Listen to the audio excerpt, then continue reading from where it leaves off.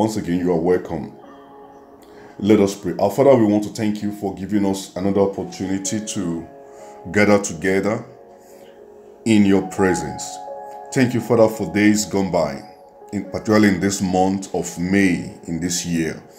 Thank you for the miracles of each day, miracles of each week, Sunday worship, weekly prayer meetings, individual prayer meetings.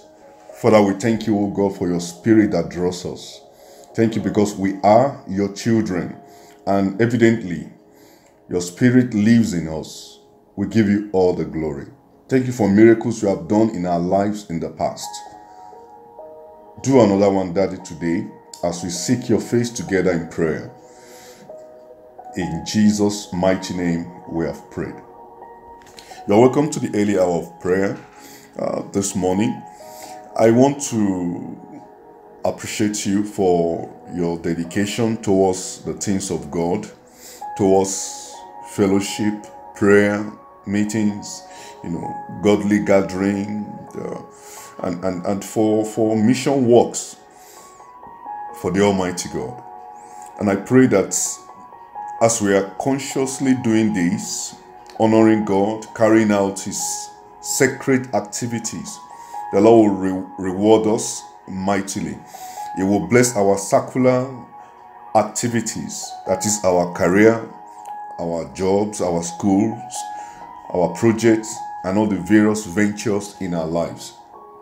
Then the third aspect is that it will heal and bless our sensual aspects. You know, the first is the secular. What you wake up to do, to go to work, your project. Then the other aspect is the sacred. That is the church stuff, the godly stuff. Praying, fellowshipping, evangelism, uh, going to church, doing charitable things.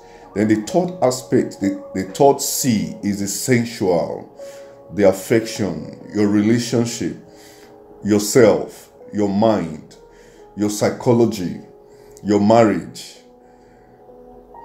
The Lord will honor you, the Lord will bless you. And I pray that as you put the Spirit of Almighty God in all these aspects of our lives secular, sacred, sensual, the Holy Spirit will overwhelm you, it will overshadow you in the name of Jesus. You know, the month we are in is a month of our transfiguration. You understand why in a moment. Now, the question is, why transfiguration? You know, I told us on, um, you know, the other Sunday about the fact that, or the other day, I mean, during the first day of this month, when we're praying early morning of prayer, I pointed your attention to Genesis chapter 2, verse 19. Genesis 2 19. You see, each day, each week, each month, each year, each season is just like a new baby, a new opportunity, a new thing, and things needs to be named. In Genesis 2:19, and out of the ground the Lord God formed every beast of the field and every fowl of the of the air and brought them unto Adam to see what he will call them. And whatsoever Adam called every living creature, that was the name thereof. So it also applies for each day.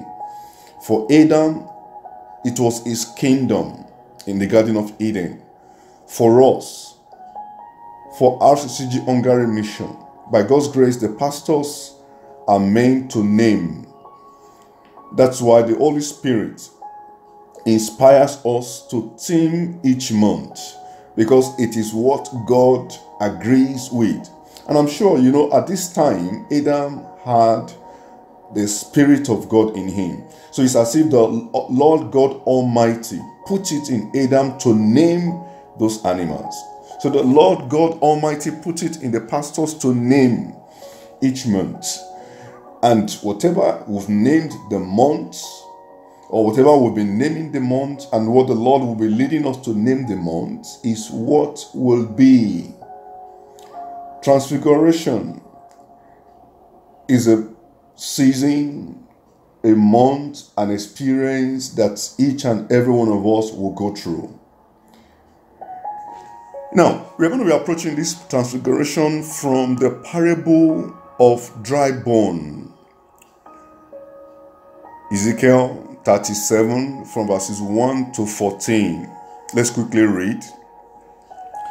The hand of the Lord was upon me and carried me out in the spirit of the Lord and set me down in the midst of the valley which was full of bones and caused me to pass by them round about. And behold, there were very many in the open valley, and lo, they were very dry. And he said unto me, Son of man, can these bones live? And I answered, O Lord, thou knowest. Again he said unto me, Prophesy. Please note those words. Prophesy upon these bones, and say unto them, O ye dry bones, hear the word of the Lord. Thus says the Lord God unto this bone Behold, I will cause breath to enter into you, and ye shall live and I will lay sinew upon you, and will bring up flesh upon you, and cover you with skin, and put breath in you, and ye shall live. And ye shall know that I am the Lord. Verse 7 So I prophesied as I, com- as I was commanded. And as I prophesied, there was a noise and behold, a shaking, and the bones came together, bone to his bone. And when I beheld, lo, the sinew and the flesh came up upon them, and the skin covered them above, but there was no breath in them. Then said he unto me, Prophesy unto the wind. Prophesy, Son of Man, and say to the wind, Thus says the Lord God, Come from the four winds, O breath, and breath upon these slain, that they may live. So I prophesy as he commanded me, and the breath came unto them, and they lived, and stood up upon their feet, an exceeding great army. Verse 11 Then he said unto me, Son of man, this bone had the whole house of Israel.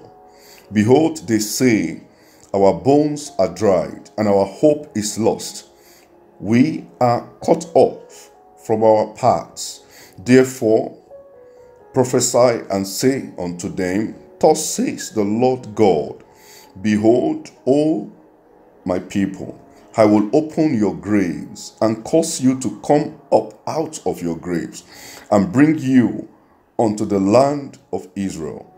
And ye shall know that I am the Lord, when I have opened your grave, O my people, and brought you up out of your graves, and shall put my spirit in you, and ye shall live, and I shall place you in your own land then shall ye know that I, the Lord, have spoken it and perform it, says the Lord. The parable of the dry bone that eventually became a great army is a clear picture of transfiguration. Imagine dead, dry bone. You know, I don't know your situation. If you understand verses 11 to 14, the applicable of this transfiguration, the Lord was trying to direct this experience of transfiguration to the need of his people. And in the Old Testament, the greatest miracle is this case where Israelites were taken captive, they left their land, they abandoned their land, and they were in exile. And after 70 years, the Lord brought them back. That is the greatest miracle in the Old Testament. It's not the parting of the Red Sea. It's not manna that fell. It's not even all the other miracle we read of from Elijah, from Elisha. No. This is the greatest miracle because it is unheard of for a nation to in this in history. It's it's they were the only one in history, the Israelite going back to their land is the only miracle, only historic record ever of any nation who were, you know, displaced all over the world, scattered, and they were regarded. Your own season of miracle is now. Forget about what it is you may be going through. Well, I'm not saying you should forget. I mean, believe less of the effects of the negative things you are going through. The God that transfigures will transfigure your case.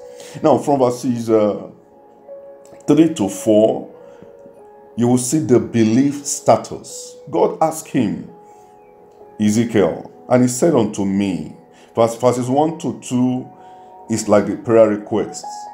What you have, what you I mean, what you have as your burden, as your, you know, as your as your worry, dry bone.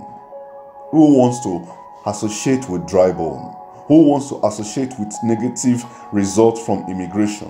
Who want to who, who, want to associate with you know a, a stagnancy? Who wants to associate with you know no nothing beautiful, no way forward, uh, no you know no direction, or, a kind of a monotonous life. You wake, you go to work, you come back, you wake. In a way, it's good, but sometimes there are more beautiful things than that. Or somebody is in a standstill. Nobody wants to associate with that. That's like a, a dry bone or somebody that immigration has rejected over and over, or somebody that has been rejected, you know, dating, you will date, and, and in the middle of the whole thing, or when it was almost time the whole thing will, will, will scatter. All those are negative things. So see verses 1 and 2 as the needs that burdens us, you know, as individual, even collectively. However, there is the God that transfigures. There is the God that transfigures. Now, the Lord asked Ezekiel, and he said unto me, Son of man, can this bone live? It's like the Lord want to know the belief status for Ezekiel. I mean, just picture yourself. God's asking you, can your problem be solved? Can this happen? Can this issue be dealt with?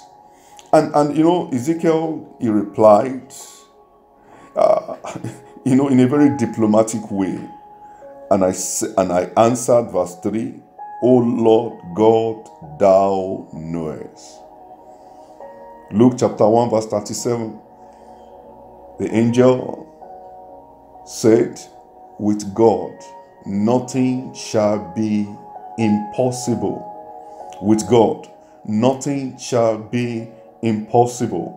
You need to get your belief status sharply right. Don't be intimidated by the dry bone in your situation or other persons or other people's dry bone. Don't be intimidated. Ezekiel was not intimidated. It, well, maybe puzzled, but he was so careful in his reply. If God is to ask you, or if people are to ask you, or if, if you have to evaluate your present situation, or you are, you, are, you, are, you are in the position of Ezekiel here, what would you have answered? You will have said, Ah, God, this is dry bone. This is useless. This is this is not possible. But Ezekiel was very careful. Now, from verses 4 to 6, you will see the instruction that was given to him. Prophesy upon the impossible thing.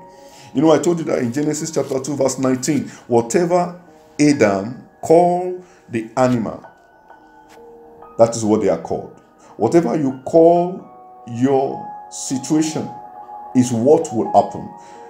You see, the Lord was in Adam, and He, the Almighty God, named the animal through Adam. By God's grace, as I said before we started, in this mission, we have monthly theme. Monthly themes are what the Lord wants us to address each month. For example, we say, oh, the month of transfiguration. Just wake up, or the Lord gave the word before the new month, and God said, transfiguration, transfiguration. Then, it, then comes the new month of May. Oh, then we say it is a month of transfiguration because that is what the Lord wants to do. And it's the 16th of May already. And you say, but I've not been transfigured. My case has not been transfigured. Well, this is a case you have to hold on to. The instruction is prophesy on to the impossible thing in your life. From verses 4 to 6. Again, he said to me, Prophesy upon this bone, and say unto them, O ye dry bone, hear the word of the Lord. And look at verse 5. So Ezekiel was now saying what God told him. It's as if it was God that put it in his heart to stop. Just as God put it in the mind of Adam to name the animal. So you have a role to play. Pastors have role to play. That's why we gather each morning to pray, to prophesy.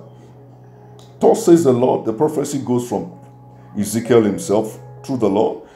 Lord God, unto these bones, behold, I will cause breath to enter into you, and you shall live. And I will lay sinew upon you, and will bring up flesh upon you, and cover you with skin, and put breath in you, and ye shall live.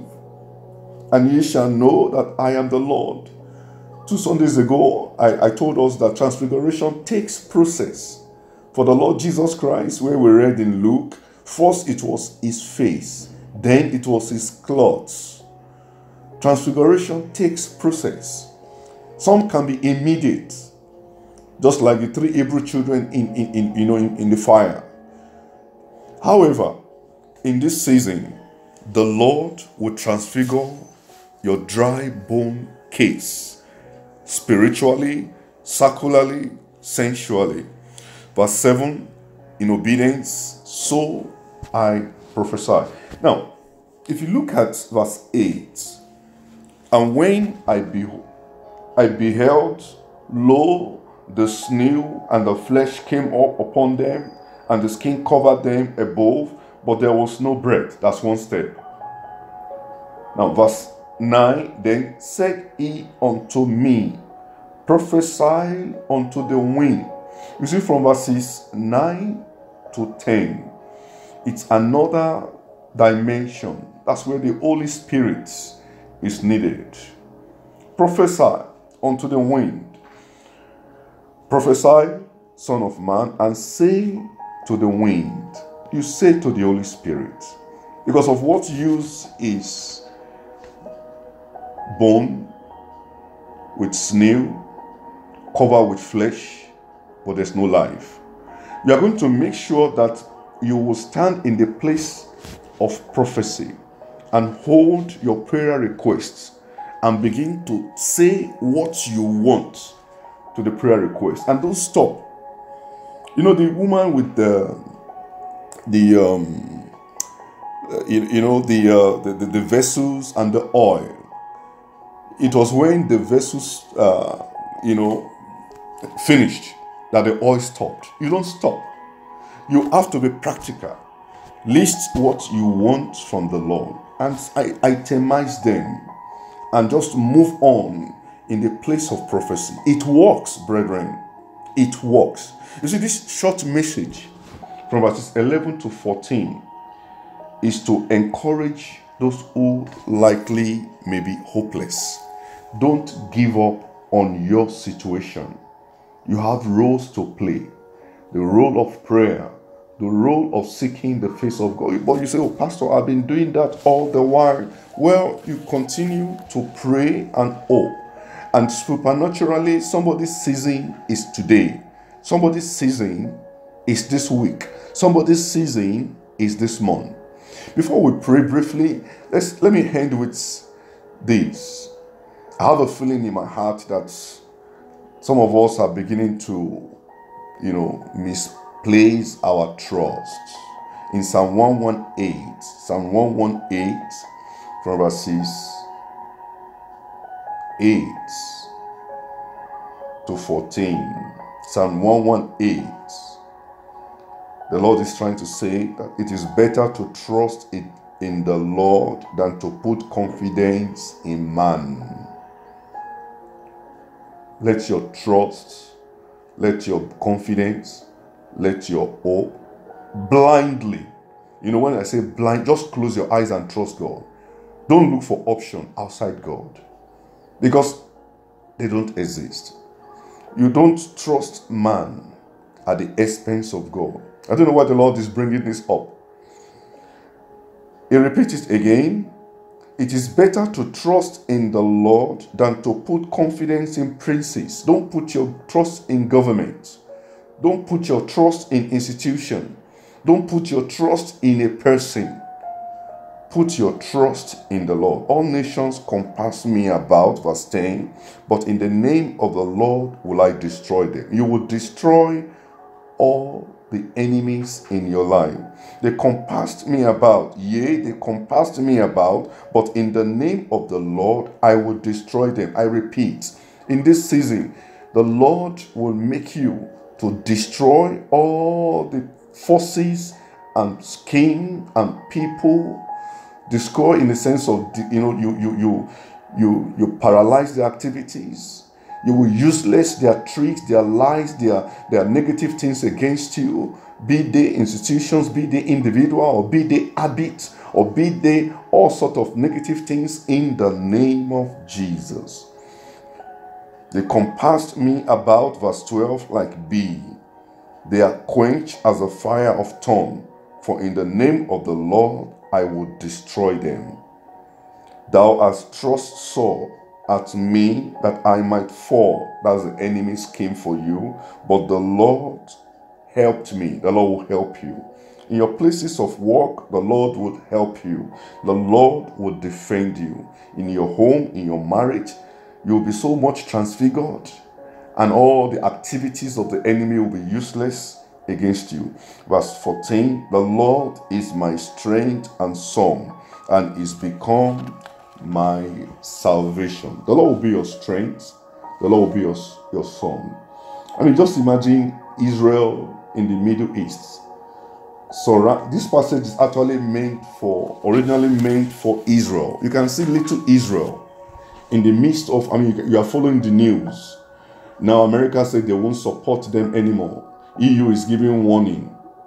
Netanyahu said, if you guys want to stop helping Israel, you can do that. But for Israel, we will continue to fight. And I just said to myself, does EU think they are the one protecting Israel? Does America think they are the ones protecting Israel? Oh, they should read the Bible. Psalm 118 verses 10, 11, 12, 13, and 14 is for Israel. And you know, the good news is, is for you also. It doesn't matter where you are positioned, nothing negative will touch you. You can see when the other day when the uh, uh, Iran sent um, uh, missiles onto Israel. Look at defense. And why are you then? Why should you be shaking? The God that watches over Israel does not sleep nor slumber. The God that watches over you does not sleep nor slumber. Your situation may likely look like a dead end, like the case of the dry bone, but in this season, you'll be transfigured. The Lord will help you. Let's close our eyes. Say, Father, we thank you for what you have told us. Thank you for hope for the hopeless. Thank you for your package of divine transfiguration into my life. I want to believe you are praying. Thank you for my sacred life, that is my faith, my spiritual activities. Thank you for my secular life, that is your career, your business, your projects, what people see on your LinkedIn, your, your professional title, your academic qualification, what pays you money, your project, your business activities, then your sensual life, that is, that concerns your soul, that concerns love, relationship, marriage, wedding, children, husband, I mean, we, we are we're all made up of those three things. Sacred, that's for those who of us who trust God, who come for prayer. Then secular, then sensual. Say, Father, I thank you. I pray, oh Lord, any of this of my life that is dead, as I've had today, may they be transfigured. Just talk to yourself. I mean, talk to God. Pray. Say, Father, I thank you. I beg and I pray. May there be a transfiguration experience for all the S in my life. I mean, my sacred life. I want to know you more. I want to be transformed. I want to be renewed. I want to be transfigured. I want to draw more unto you. You know, Moses was transfigured because he spent time in prayer. You know, and and and and, and, and the three children, uh, Hebrew children, were transfigured because of their sacred life testimony. Say, Lord, I don't want to deny you. Help me, oh God. Help me, oh God. Then your sensual life, say, Father, anything in me that is driving my, my suitor away, my supposed husband, my supposed wife, please may I be transfigured. Anything in my life, anything in you that is making your husband you know, to be upset at you or making your wife to be upset at you or making making your children, you know, for that is causing problem in your sensual life. Say, Lord, transfigure me. Roba I've just told us, I've led us to narrow our prayer, our life into those three S. Your sacred, your sensual, your secular. And I want us to pray that the Lord will renew our hope. Oh, there is hope. Brethren, there is hope. It doesn't matter how long. There is hope. Hope for, for legal issues, hope for marital issues, hope for secular issues, hope for, for, for job, for project, hope for promotion, hope. Eh, there is hope. There is hope. Say, Father, renew my hope. I want to learn how to have confidence in you, not man. I want to have, I want to learn how to have confidence in you, not princes. That is not not institutions, not government. Help me, oh Lord, trans, trans, transfigure my heart, transfigure my life, transfigure all that concerns me. You know, God told Ezekiel, Ezekiel, be personal about this thing. Prophesy. So you prophesy over your life now as you are sitting praying, I believe. Say, oh dry bone in my situation, hear the word of God. You will live. Ramushakataba. And as you are opening your mouth to pray, to prophesy, the Lord God will back you up. Like the dry bone, the, the bone will be covered with snow, then with flesh. Then, if he stops, prophesy again that the Holy Spirit will take over. Then, dead bone that is now human but still dead received the wind, received life, received Holy Ghost. No, in the next one minute, just pray in tongue, just pray in tongue. Maka broka shidede, rabo sakatika braka seke tekeriba. Pray in tongue. You are, you are prophesying in the spirit all the dead case in your life will receive life. They will be transfigured. Makabroko sheketa gabrakata. Lekesi kede gagrabo sokoto ki gabragase kete keke. Rigabroko shikete. Remember, it's an instruction. Prophesy, brethren. Tell the wind, tell the Holy Spirit, Holy Spirit, Come upon this. Rabo shanka broko sekete keka. Baga broko sekete keriga gabroko shigadagaga. Leke sekete keriga graboko sekete naba broko sekete. Iga broko sekete keriga gabraga shigedegege. I'm prophesying over your life all the dead case in your life good case that have died like the dry bone, they will receive divine transfiguration. Makabro kosekete. It has been named, this month has been named a month of transfiguration, a month where impossible become possible. Rabro kashikataka. So shall it be concerning you in the name of Jesus Christ. Raboka sikataka riba bragazegedege. In Jesus' mighty name we have prophesied. And lastly, I want us to pray for the Light Up Baja coming up this weekend. You know, the evangelism part is our sacred assignment in this mission. You know, gathering of souls, gathering of believers, discipling, preaching, going out. All these are our sacred assignment as a mission. I want us to pray that the Lord will make it fruitful, that only the name of God will be glorified, and that the souls that have been destined to be saved, to be touched, be they international, be they native, be they Hungarian, be they whoever. As far as I'm concerned, the mission work is not after any particular people, but souls. Let's pray that God will make it a success, a kingdom success, heavenly success, not not successful in uh, organizing programs and you know jamboree. No, no. Say, Lord, we beg you that let souls be saved. Hellfire don't want that. Hellfire don't mind if we do activities, if we do religious uh, exercise, and we pride ourselves in uh, moving from one place to the other. Hellfire don't mind. But what Hellfire will mind is when souls are beginning to be saved. Rabakasa Kabe Kefa. Father, we pray for light of Baja. Let there be salvation of souls. Let there be restoration of souls. Let dry bone, the people that are dead, and dry. And just like in the case of Ezekiel 37, let them be transfigured, let them be brought back to life.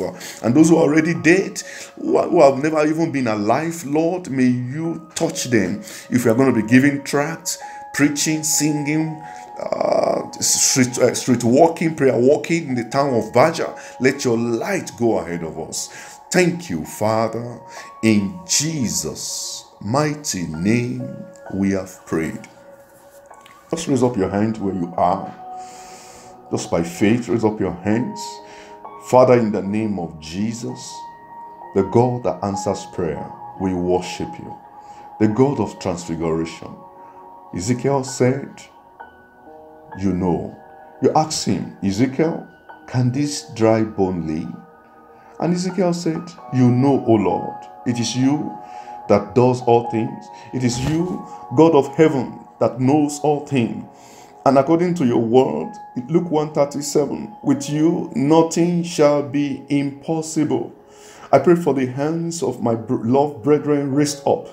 I prophesy over everything acting, standing as dry bones in their life. May they live.